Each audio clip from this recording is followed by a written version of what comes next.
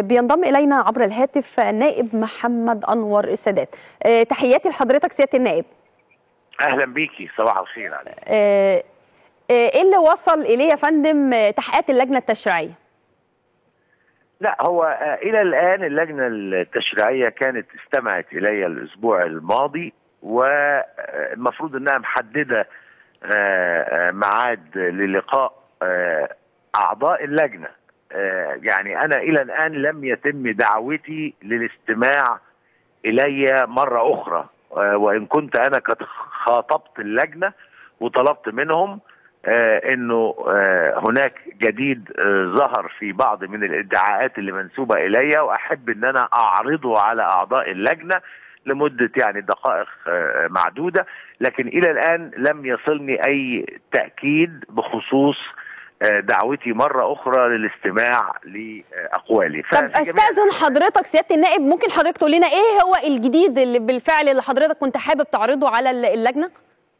آه، الجديد هو آه، إنه آه، من ضمن الادعاءات قيل إن أنا أرسلت شكوى للاتحاد البرلماني الدولي. آه. وده مثبت من واقع مضابط الجلسات آه، وإن رئيس المجلس ردد أكثر من مرة.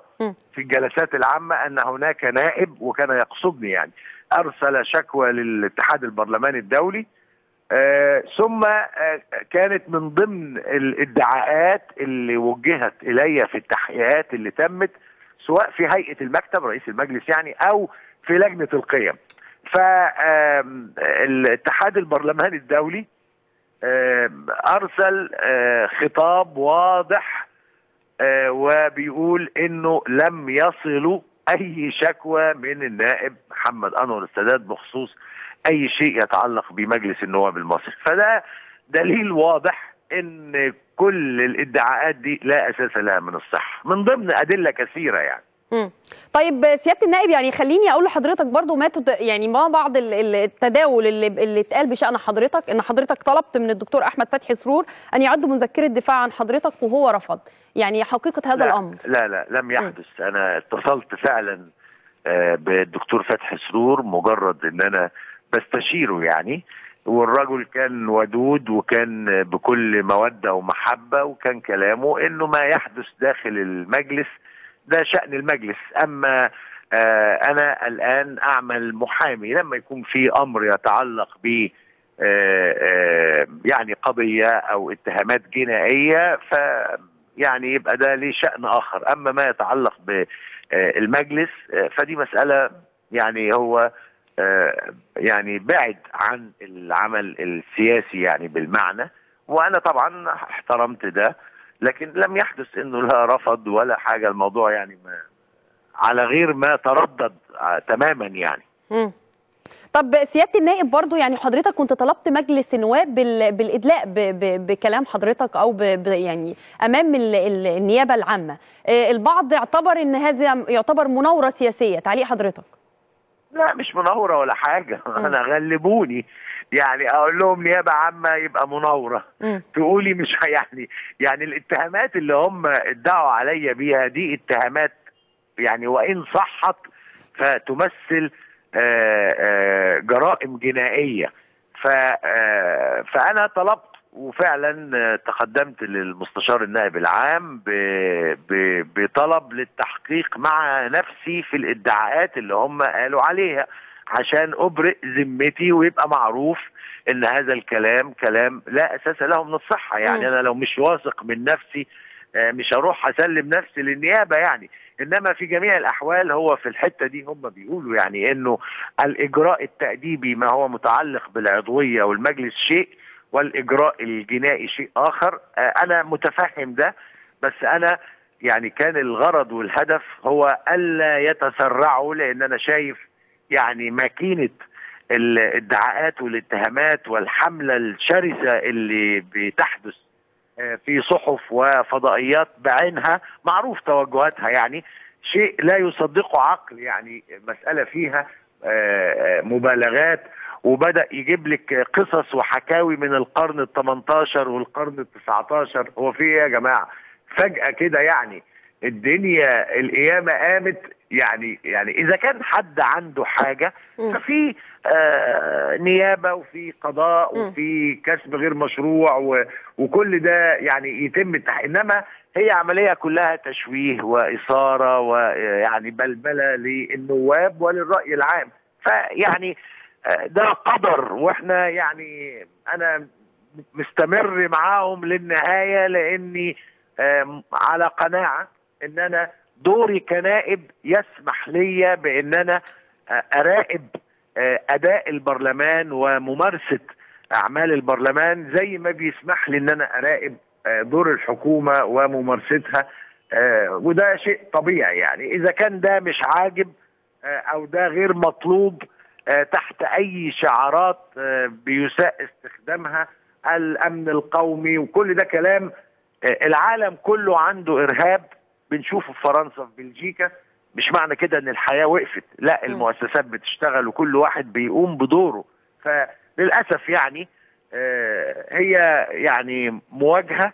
آه، وأنا بالنسبة لي يعني شايف إنه الجميع مسخر أجهزة زي ما قلت لحضرتك وإعلام وحالة يعني الجميع مندهش من إنه فجأة يعني تبقى بهذا الشكل يعني.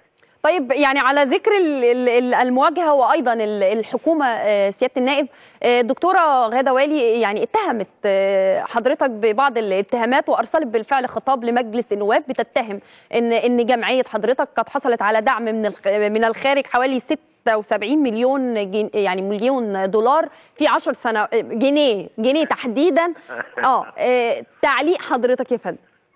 تعليقي إنه آه، جواب الوزيرة أنا بشوف إنه. آه، يعني إشادة ووسام على صدري.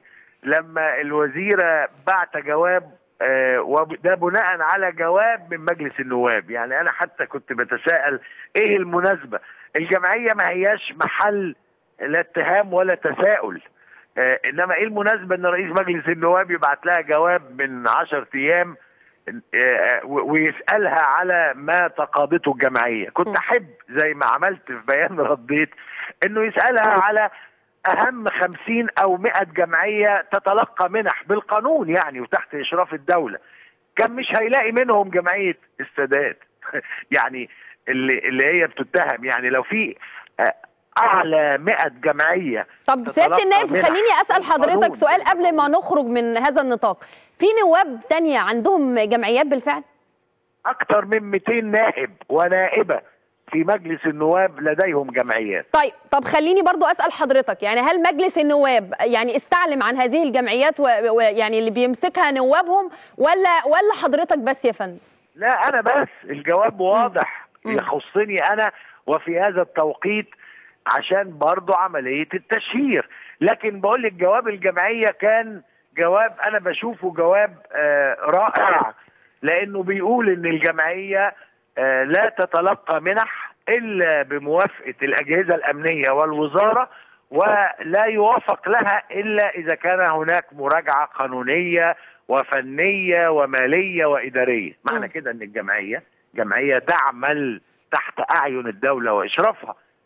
فيعني مسألة ثم كمان المبلغ اللي تم تحديده الوزيرة 76 مليون. 76 آه. ده بتتكلم على حوالي 10 سنوات على 10 سنوات آه إنما لا خلينا في الأهم طلع كمان إنه مش 76 ليه؟ لأنه من داخل ال 76 آه، في بعض منح تم إلغائها الممولين يعني لما اتأخرت الموافقات لغوها دي حوالي 19 مليون فيبقى إحنا بنتكلم على حاجة و50 وكمان في منح داخلية من الصندوق الاجتماعي. يعني كلام لا يصح ولا يليق إنما هو المقصود به التشويش و... وكأن هي الجمعية الوحيدة. أنا بقول لهم كنت أفضل إنهم يبعتوا يقولوا أعلى 100 جمعية بتتلقى منح.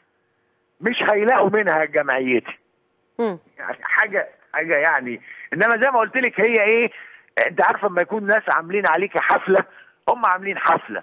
الآن يحدث. بالظبط عشوائية كما حدث في موضوع آه. طب الكافيتريات سياده النائب خليني أسأل حضرتك سؤال يا فندم. طاخ كسر طاخ دشدش هم برضه نازلين كده لكن لنا الله يعني إحنا مش ما فيش مشكلة يعني.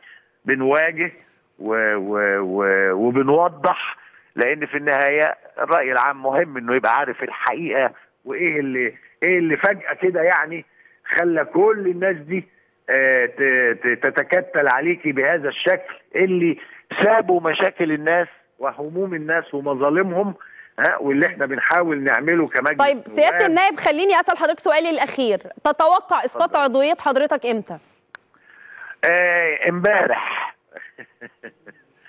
يعني إذا كان على على إمتى امبارح لكن. ما زال عندي أمل إنه بعض من النواب عندهم ضمير وهيقولوا كلمة حق وربما نشهد مفاجآت.